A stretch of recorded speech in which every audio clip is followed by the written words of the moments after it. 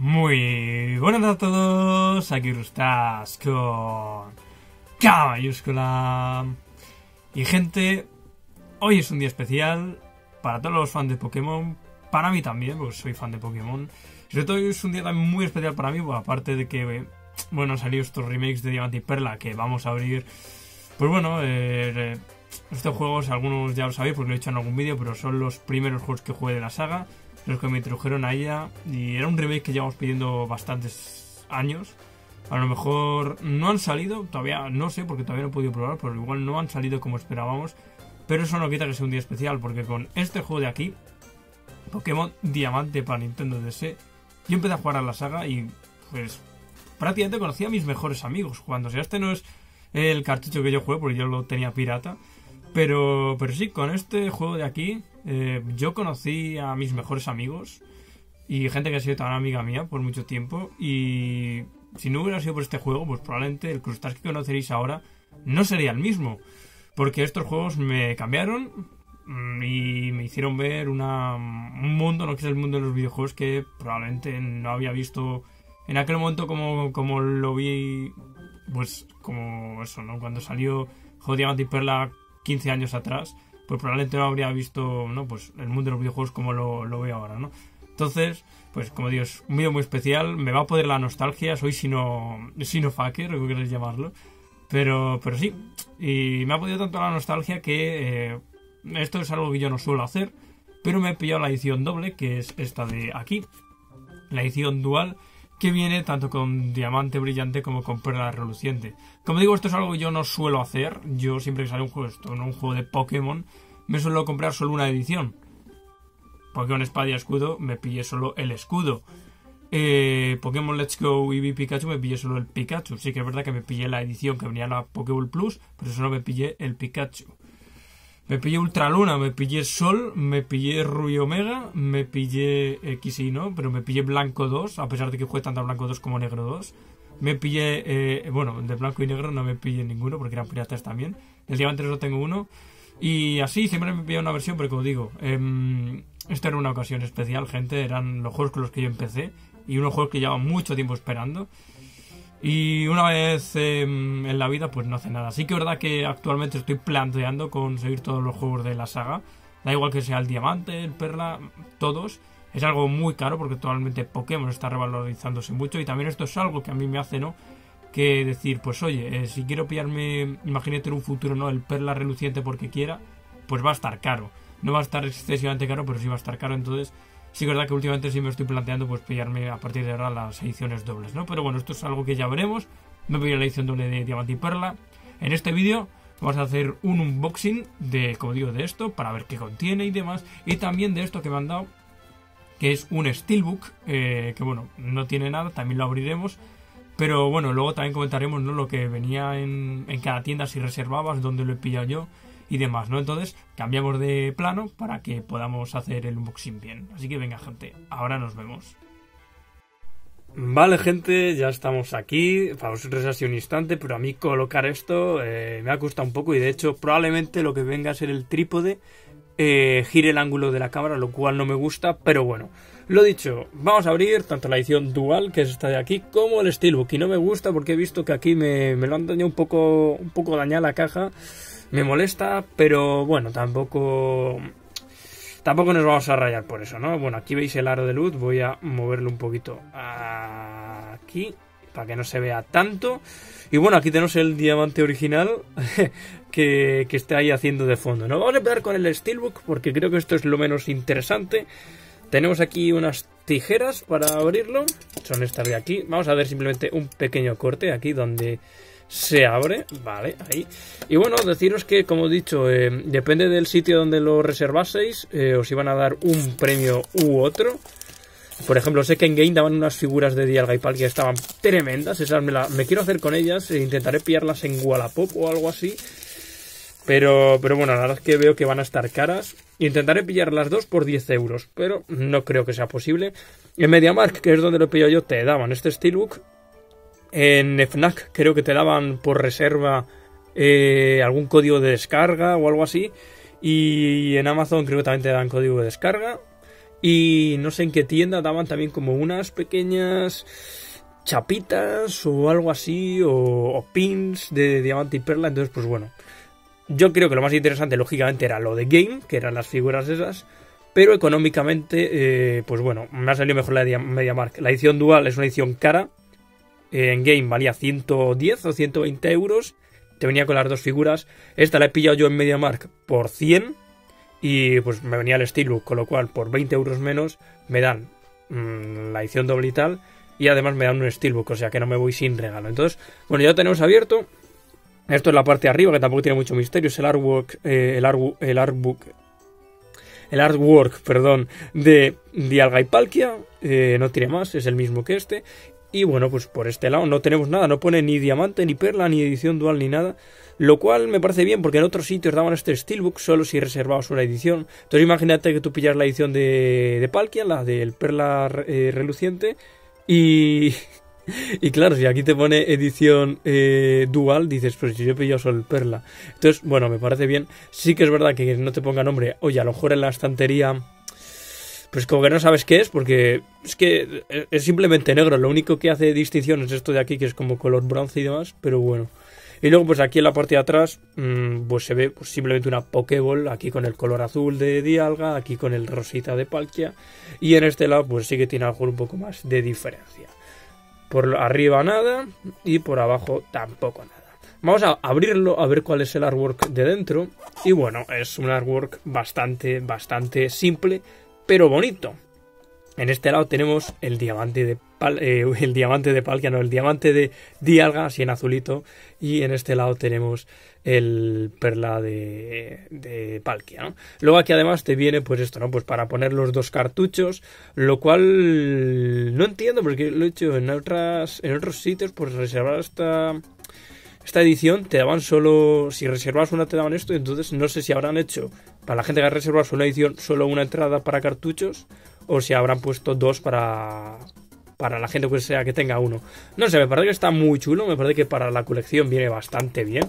Además es, es como, como shiny, no en el sentido de, los Pokémon, sino que esto brilla. O sea, no sé si vais a poder verlo a la luz, pero bueno, veis aquí que brilla y tal. Está chulo. Está chulo y bueno, lo que he dicho, un Steelbook más para la colección.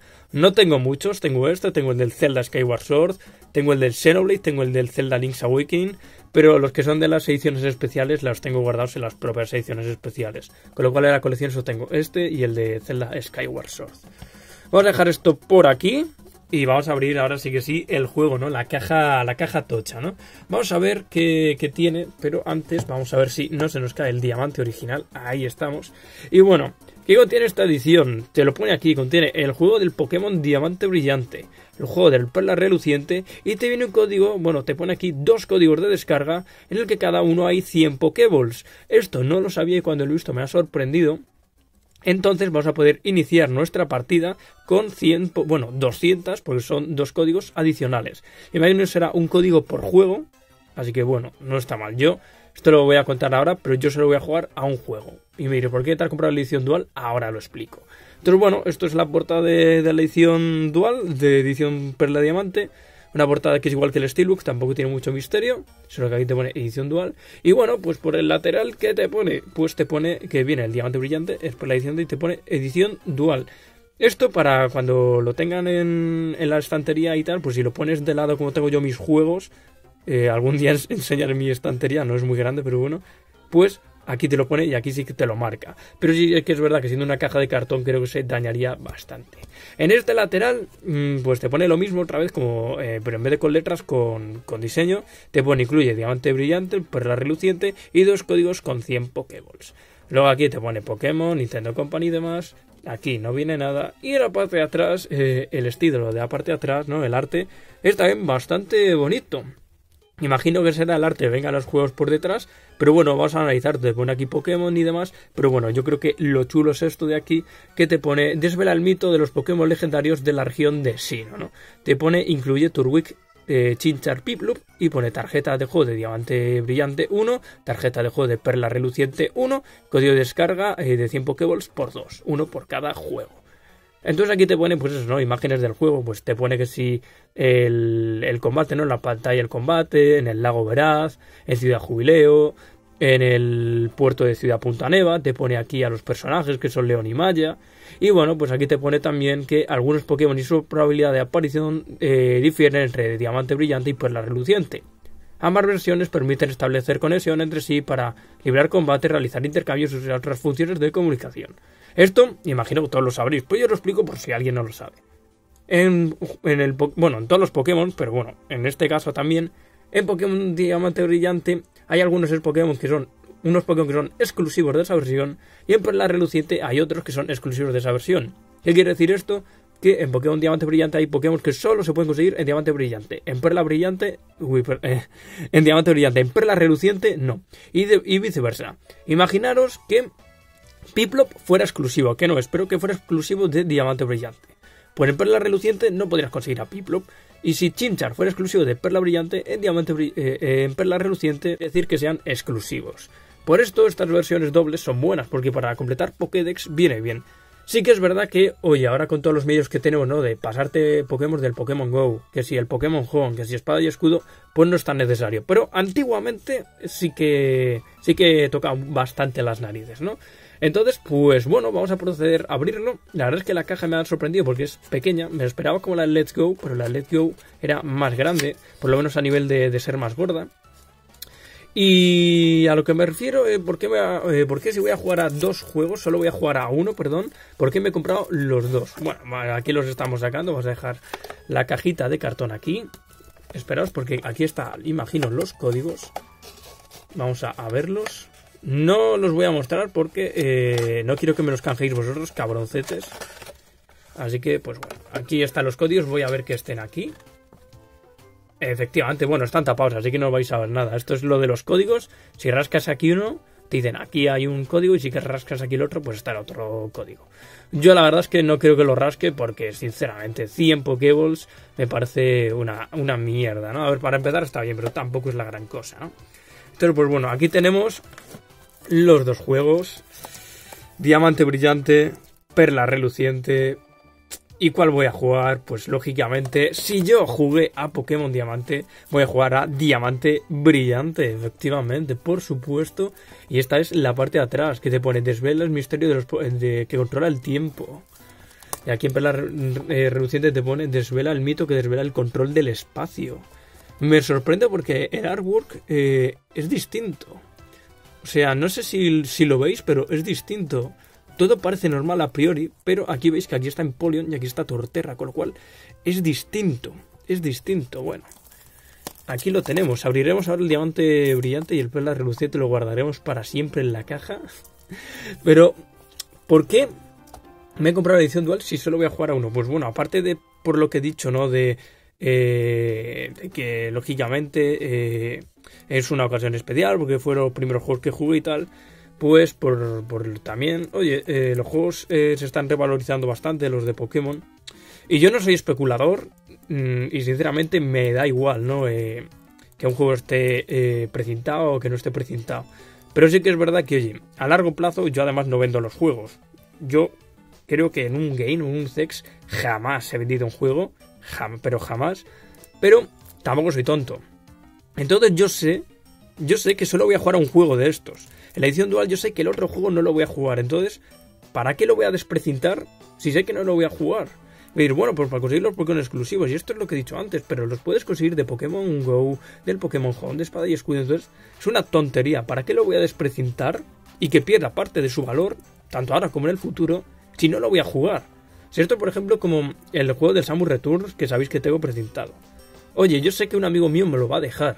¿Por qué lo voy a desprecintar? O sea, el Samus Returns precintado vale 65 euros mínimo. Y sin precintar está como a 40 45. ¿Por qué voy a perder el valor de 20 euros si sé que no lo voy a jugar porque me lo va a dejar un amigo?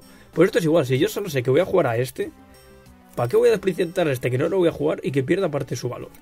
No soy un especulador, pero así va la cosa. Un juego precintado vale más que uno sin precintar.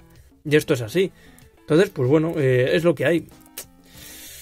Alguno le molestará o dirá, ah, eres un capitalista de mierda que, te lo compras y no vas a jugar. Pues sí, gente, pues lo soy. ¿y qué pasa? ¿Y qué pasa? Entonces, pues nada, gente, vamos a abrirlo. Y me sorprende porque ya no. El diamante brillante es. Bueno, y el perla también es para más de 7 años. Los. Bueno, aquí los veis. Estos son para más de 3. ¿Por qué lo han puesto para más de 7? Pues no lo sé. Me sorprende.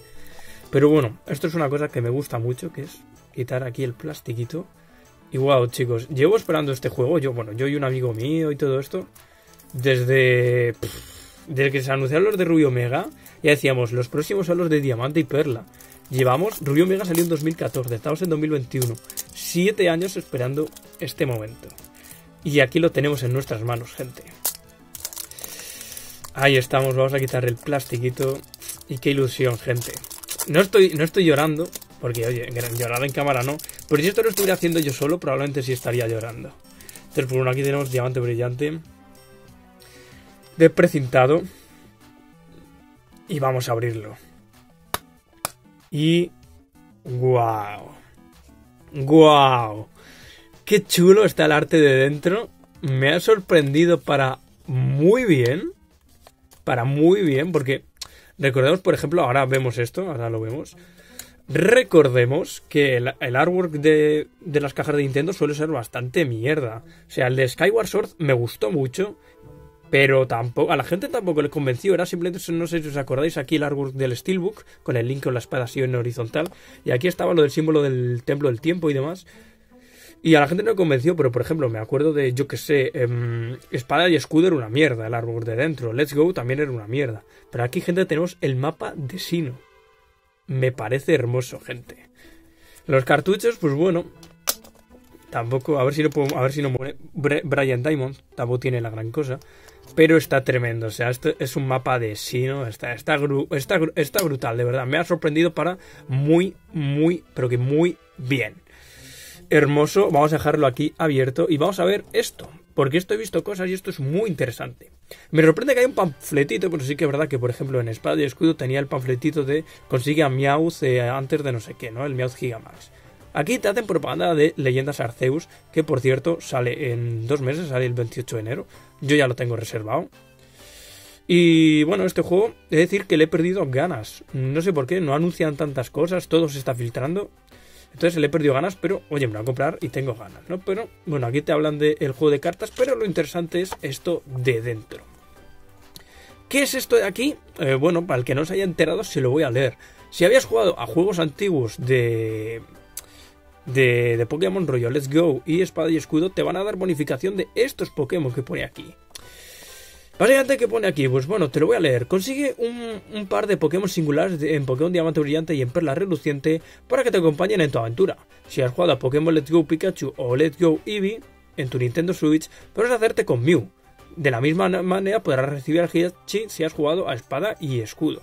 Solo tendrás que dirigirte al pequeño campo de flores que se encuentra en el pueblo Aromaflor y hablar con cierto aristócrata para recibir a Mew o cierto aristócrata para hablar y conseguir a Hirachi.